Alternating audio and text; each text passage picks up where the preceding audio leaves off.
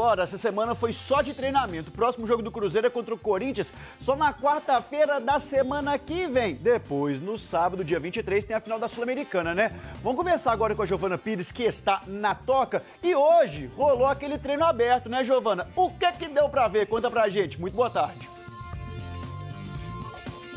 Ei, Marcelo, muito boa tarde para você também. Boa tarde para todo mundo que acompanha a gente aqui no Globo Esporte. Foi o segundo dia de atividade do Cruzeiro desde a folga dada aos jogadores no início da semana. O que a gente viu por aqui foi a grande novidade do dia, a presença do volante Wallace no treinamento. Ele vinha sendo titular do Cruzeiro, só que ficou de fora da última partida contra o Criciúma, porque o departamento médico do clube identificou que tinha uma grande chance, um grande risco dele se lesionar na partida caso estivesse em campo. Então, por isso foi poupado pela comissão técnica, mas esteve hoje normalmente no treinamento. Os dois, dois jogadores do Cruzeiro não estiveram nas atividades. Primeiro, Rafa Silva, ele que não joga desde o jogo contra o Atlético Paranaense, ficou de fora, de acordo com o Cruzeiro, ainda está com sentido a coxa desde aquela lesão de junho. E o Álvaro Barreal, mais nada que preocupa. Seguinte, vamos ouvir agora o João Marcelo, zagueiro do Cruzeiro, que falou sobre a expectativa para a Sul-Americana. A torcida está ansiosa aí pela, por essa final. É um jogo muito importante pela, pela história, pelo, por tantos anos sem, sem estar em uma final internacional, mas a gente precisa estar, tá, precisa estar tá concentrado, precisa estar, tá, estar focado no jogo contra o Corinthians. Também é muito importante para a gente focar bem nesse jogo, para aí depois sim pensar na final e fazer um bom jogo para sair campeão. Ô Giovana, falando em final de Sul-Americano, o Cruzeiro garantiu a carga total de ingressos destinada aos seus torcedores, né? Como é que é isso? Exatamente, Marcelo. O seguinte, o torcedor do Cruzeiro já comprou 9 mil entradas para essa partida. E a Comebol encerrou a venda oficial no site. O Cruzeiro comprou os ingressos restantes para comercializar aqui no Brasil com o sócio torcedor do clube. Então, o torcedor que ainda quiser marcar presença nessa partida vai precisar entrar em contato com o programa de sócio. Lembrando, importante destacar, Álvaro Barreal não tem nada, só estava na fisioterapia mesmo, já como planejado. Excelente, Giovana. Muito obrigado pelas informações. E hoje Galera... é dia de seleção na tela da Globo, hein? É Brasil contra Venezuela e atenção pro horário, 6 horas da tarde. Fica ligado. O Brasil do técnico Dorival Júnior tá fazendo as contas de olho na vice-liderança. Depois de dúvidas e turbulências, o Brasil é o quarto colocado nas eliminatórias, mas a vice-liderança está ao alcance. Para agarrar essa oportunidade, será preciso que o Uruguai vença a Colômbia. E antes disso, derrotar a Venezuela por uma diferença superior de gols. A questão é ganhar dos donos da casa jogando no Estádio Monumental. Ninguém conseguiu ainda. Foram duas vitórias e três empates. A escolha aqui de Maturim como sede de todas as partidas se revelou um acerto, porque a Venezuela ainda está invicta como mandante e vai tentar frear a reação brasileira, confirmada pelas duas vitórias seguidas. As atuações contra Chile, especialmente Peru, deixaram o técnico Dorival Júnior satisfeito, a ponto de repetir a escalação da goleada por 4 a 0 em Brasília, exceção feita à volta de Vini Júnior, que estava machucado, no lugar de Rodrigo, cortado por lesão dessa vez. As contusões de Guilherme Arana e André durante os treinos em Belém não alteraram esses planos. Já tinha a ideia da repetição. São jogadores de muito bom nível, jogadores é, que merecem todo o nosso respeito e terão as suas oportunidades. Um olhar mais atento revela a importância do bom momento vivido pelos rivais cariocas Botafogo e Flamengo. Igor Jesus vai emplacar o terceiro jogo seguido como titular. E Gerson, um dos maiores destaques rubro-negros na conquista da Copa do Brasil, foi mantido no time, mesmo com o retorno de Lucas Paquetá. Igor e Gerson são os dois únicos atuando em clubes brasileiros entre os que vão iniciar a partida de hoje. Ninguém pode ignorar o momento que o Gerson vem atravessando e já ao longo de um, de um período considerável Paquetá é um jogador que eu tenho muita confiança, ele sabe disso. O mesmo critério se aplica a Rafinha. Já são 12 gols na temporada, a mais artilheira dele pelo Barcelona. Herdou a camisa 10 de Rodrigo nessa data FIFA e se firmou como um jogador capaz de exercer múltiplas funções, algo valorizado pelo treinador durante o processo. E assim, Brasil e Venezuela vão medir forças para saber se a boa fase de um será mantida às custas do momento favorável do outro. Existe uma confiança muito grande por aquilo que nós estamos vendo em treinamentos e que eu espero que possamos repeti-lo em campo. Reforçando o convite, é Brasil e Venezuela na tela da Globo a partir de 6 da tarde. Ó, oh, perdeu alguma coisa do Globo Esporte? Daqui a pouquinho Seja tá tudo toca no... da Raposa 2. Esse aqui, ó.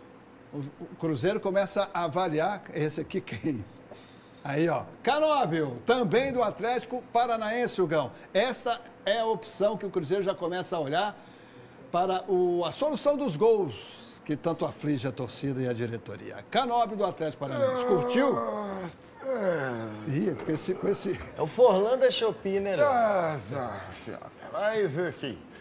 Deixa eu só falar uma parada agora importante sobre essa situação do Gabigol. Depois a gente fala sobre o Canóbio, até para eu poder também ter maiores informações sobre valores sobre esse fato aí. O que acontece é o seguinte: o Cruzeiro tem a proposta já tá lá na mão do Gabigol. Evidentemente que o empresário dele vai falar que não, que não tem e tal, porque também quer deixar um clima mais tranquilo para ele terminar a carreira dele no Flamengo sem maiores pressões da torcida de lá. Mas o que, que acontece? Existe uma zoeira no futebol que é assim, fulano te deu um chapéu e tal e etc. O certo do Cruzeiro é não ligar muito para essa zoeira e falar pro Gabigol assim, ó, a proposta é essa aqui, irmão. Se te oferecerem mais, menos, igual e etc., a decisão é sua sobre o que você quer fazer.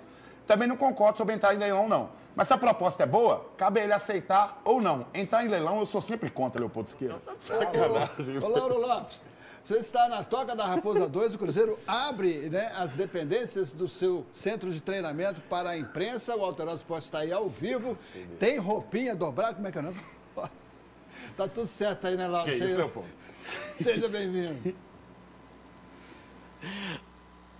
Fala, Léo, tá tudo certo por aqui sim. Muito bom dia a você, né, a galera da bancada, a todo mundo que tá ligado no Alterosa Esporte. A segunda atividade após a folga do início da semana, né, nos trabalhos do Cruzeiro, é, contou com uma novidade em campo. O volante o Alisson, é, perdão, o volante Wallace ele tinha sido poupado contra o Criciúma, né? Não era nada preocupante, não uma lesão, mas estava com um desgaste físico um pouco maior. E aí, ontem fez trabalhos internos e hoje voltou a trabalhar com o restante do grupo. Em contrapartida, três ausências no treinamento do técnico Fernando Diniz. Quem não esteve em campo, a gente já sabe que está se recuperando de uma cirurgia, é o Juan Dineno. E com dores na coxa, o Rafa Silva ficou na fisioterapia a exemplo do Barreal, que também fez trabalhos internos, mas aí não preocupa, deve retornar aos gramados nos próximos dias. Esse é o Cruzeiro, então, trabalhando, né, pensando no retorno aos gramados, primeiro contra o Corinthians no dia 20, pelo Campeonato Brasileiro, e aí o principal foco do momento, né, dia 23, no sábado seguinte, grande decisão da Copa Sul-Americana contra o Racing lá no Paraguai. Então, foco total do Cruzeiro nessa decisão. Tem sim esse jogo do brasileiro antes, mas aí a gente já percebe que o ambiente aqui, o Fernando Diniz, está mais preocupado nesse momento com a Copa Sul-Americana, viu, Léo? Pois é. Hugo, viu ali a atividade, essas uhum. informações importantes do Lauro Lopes, que daqui a pouco vai voltar direto da Toca da Raposa 2, porque tem assunto de montão. Oxi. Né? Hoje Bastidores quentes. Mercado, o, o, o Pedrinho está no mercado, ele entende desse negócio de supermercado, né? Oh. Está abrindo os cofres. Negociação também. É. Então esse time aí que está treinando e tal não vai jogar esse final de semana. Não. É, inclusive, Léo, eu queria abrir uma negociação entre eu e Vossa Senhora aí, porque semana que vem o horário do jogo do Cruzeiro é às 11 horas da manhã, no meio da semana, né? Sei. Então, não, eu tô conversando numa boa, não precisa pegar não, o cartão. Tô Só peguei boa. aqui porque tava Não, sim, mas aí como é jogo e eu trabalho comentando sobre futebol, eu preciso assistir o jogo do Cruzeiro. Então eu mandaria o substituto nesse dia, certo? De Cruzeiro hum. e Corinthians, o Lauro rindo lá. mandaria o substituto e aí eu assistiria o jogo e no dia seguinte eu estaria aqui para comentar. Emendando também o assunto, vamos falar do Wallace, antes que esse cartão venha para mim aqui. O Wallace, gente, todo mundo tem falado muito do Wallace volante e falado que ele não tem rendido muito bem. Eu acho que o Wallace precisa de uma pré-temporada. É isso que ele precisa. O Matheus Henrique chegou e se adaptou rápido. Ainda assim, eu acho que o Matheus Henrique ainda não está na melhor forma dele e olha que está jogando bem. Já o Wallace, com uma pré-temporada, principalmente por causa do porte físico dele, eu acho que ele se adapta e se adequa melhor ao futebol brasileiro. Em relação a Rafa Silva, esperar as cenas dos próximos capítulos para que o Cruzeiro possa anunciar aí quais as medidas seriam tomadas, porque eu acho que só uma multa mediante o que aconteceu com o Atlético Paranaense é muito pouco. Sobre Cruzeiro e Corinthians. A gente conversa depois sobre Cruzeiro e Corinthians, em off, de E boa. empreendedorismo, vocês falaram do, do Pedrinho, o empreendedorismo dele é fantástico, né, Léo? Ah. Já está sincronizando o horário do jogo com o funcionamento do supermercado. Ah, é? Para não gastar com energia mais tarde, com o pessoal do RH mais tarde, já sincroniza Não ali. ó. pagar hora extra. Eu não duvido nada a preparação física do Cruzeiro começar a ser, descarregar caminhão, Léo. Tô, Pau, um saco de arroz aqui, carrega lá pra dentro. Vamos lá, vamos, vamos, vamos. Não agre- sabe. agregar no salário me chama que eu ajudo O também. Gão, o Gão tá em forma, o Gão tá em forma, tá? Treina todo dia. O Lauro Lopes daqui a pouco volta então com o supermercado da Bola Celeste. Combinado? Combinado, Léo. É isso. O Cruzeiro já está de olho lá no mercado, pensando em 2025, né? Pode pintar novidade em breve aí é, no time do Cruzeiro para a próxima temporada. A gente vai trazer informações daqui a pouquinho, tá ok? Obrigado, Lauro. E a informação que a gente tem também é que parece que o jogo do Racing na Argentina, eles vão ter uma semaninha de folga. A última informação que eu tive. E o Cruzeiro ainda assim jogará contra o Corinthians. A única coisa que fizeram foi melhorar, entre aspas, o horário em relação àquilo que vai ser de diferença do horário que encerra o jogo entre Cruzeiro e Corinthians para o jogo que começa entre Cruzeiro e Racing. Então, teoricamente, o Racing chegaria mais descansado. Então, acho que poderia rever também essa condição aí. Mas há uma outra contrapartida também que conversei com alguns fisiologistas, Léo, que falaram comigo o seguinte: que é bom o Cruzeiro jogar no meio da semana, porque você pega ritmo e você não pede ritmo de bola. Já um Racing se arrisca a ficar uma semana inteira sem jogar. Quero saber como a torcida celeste está esperando uma provável vinda de Gabigol. Hein, Hugão? Gabigol aqui em Belo Horizonte. Aprova?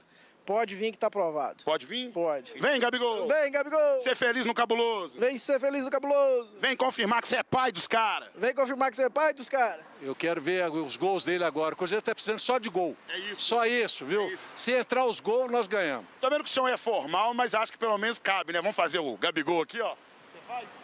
Aí, ó, Gabigol, isso aí, Gabigol. Eu não gosto muito dele. Que isso? Como que você não gosta? Mas se fizer gol. O cara é o pai, o pai dos caras lá do outro lado. é, Não, hein? se fizer gol é bem-vindo. É bem-vindo? É bem-vindo. Mas simpatia, não sei não. Sério mesmo? É, sério mesmo. Se fizer gol pro Cruzeiro, pode ser antipático com todo o resto. Então agora vamos ser antipáticos nós dois. Aí, aqui é bom que o povo fala. E é o seguinte, daqui a pouquinho, direto da Toca da Raposa 2, Lauro Lopes trazendo informações de bastidores, né, sobre essa proposta que o Cruzeiro concretamente fez ao Gabigol, né? Tanto que ele, após a partida da final da Copa do Brasil no Mineirão, declarou que aquela era a última final dele mas pelo Flamengo, né? A última final pela carreira. E o Santos entrou na parada, o mundo árabe entrou na parada, né? E a gente vai ter mais informações daqui a pouquinho sobre o Gabigol, que ontem não estava relacionado contra o Atlético e chegou no Maracanã, e entrou no pisou no gramado com a camisa histórica que teria sido do Zico, né, com camisa 10, que ele perdeu por causa de indisciplina. É impressionante como ele consegue realmente ser o midiático, né? Ele é, chama bastante atenção. Ele arrumou pra- uma confusão agora com o Marcos Braz, né, Léo? Porque ele, depois de fazer dois gols na final e ser campeão. Esporte do nosso futebol. Está aqui na manchete do noataque.com.br. Quanto o Cruzeiro pagará por Christian do Atlético Paranaense? Rugão, no ataque publicou a proximidade do acordo do Cruzeiro com o Atlético do Paraná por Christian. 18 milhões de reais, que seriam 3 milhões de euros. Vou acionar o Lauro Lopes, direto da Toca da Raposa, para falar sobre isso. Você quer já comentar? Ou vamos bater bola aqui com o nosso repórter? Pode chamar o Lauro, Pode porque eu chamar tenho Lauro, informações então? com números diferentes aí. Nessa- Pois é, então aqui, ó. Este é o Christian. Ele está realmente a caminho da Toca da Raposa 2, de onde você fala ao vivo novamente com o Alterosa Esporte, Lauro Lopes.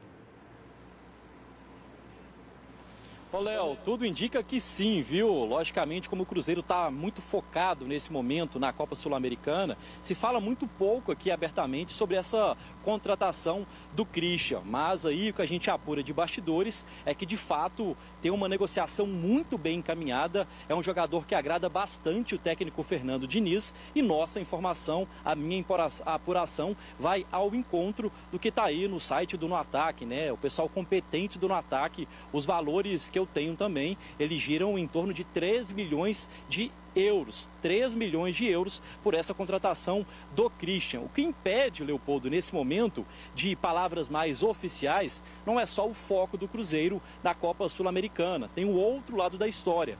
O Arthur acabou de falar aí, né, que o Atlético Paranaense, o time do Christian, está brigando contra o rebaixamento no Campeonato Brasileiro. Então, esses detalhes fazem com que, neste momento, não haja mais é, nada de oficial. Mas tudo indica que ao final da temporada deve ser tudo formalizado e o Christian deve, de fato, chegar à Toca da Raposa para assinar com o Cruzeiro um novo clube dele, quem sabe a partir do ano que vem, Léo. Maravilha, então, Lauro Lopes daqui a pouco volta com a história do Gabigol e outras histórias também, o Cruzeiro na final da Sul-Americana. Fechou? Christian, é certo? O Lauro tá em pé, né? Melhor sentar, viu, Laurinho? Com os números que eu tenho aqui, é melhor dar uma sentadinha aí. Baita jogador. Mas a informação que eu tenho é que pro Cruzeiro ter o Christian são 8 milhões de euros. Que? Não são Aproxima... três, não? Não. Aproxima... Aproximadamente 8 milhões de euros no total. Total. Premiação, luvas, metas alcançadas, agregam aí e tal. Mas a compra direta vai mais do que esses 2,3 milhões. Mas no total mesmo, uma conta rápida de cabeça dá em torno de 49 milhões de reais, mais ou menos assim. Mas aí eu falo com vocês, Gão, tá certo, tá errado, você concorda, você discorda. Eu acho um baita jogador e como um baita jogador, todo jogador tem muita valorização e o futebol está realmente muito caro. Muito caro. Para ter um jogador desse naipe, meu amigo, você vai ter que gastar muito. Considerando que o Cruzeiro, quando vendia os meninos que estavam ali disputando a Série B, vendia por 2 milhões de reais, vendia por 3 milhões de reais. E estamos conversando agora sobre euro, realmente o Cruzeiro está mostrando que está movimentando muito o mercado. Minha preocupação é muita gente onde o Cruzeiro pode procurar para poder, de repente, ter negociação com os jogadores, olhar e falar assim, ó, Cruzeiro está com dinheiro e inflacionar demais o mercado. Colocando um valor para jogadores, talvez não seja o caso do Christian, que às vezes eles nem merecem. Mas aí o Cruzeiro vai ter que pagar um pouco mais caro porque está mostrando que está bem forte no mercado. Ô, Gão, o Machado saiu, o Ramiro e o Lucas Silva devem sair fim do ano. Tem o Wallace e o Matheus, Matheus Henrique. Henrique. Com o Romero, Japa ainda, uma Pois galera que é. está vindo da base. Eu ia perguntar do Romero também. E Christian, e, que- e com o interesse de Rafael, tem espaço para todo mundo ali? Cara, eu prefiro assim do que como estava antigamente com certos jogadores jogando. Mas a preocupação do Cruzeiro é essa. Toda vez que ele for no mercado agora, todo mundo vai falar assim, ó, você tá com dinheiro, você pode pagar um pouquinho a mais. Essa é a realidade do futebol brasileiro, gente. Muito bem.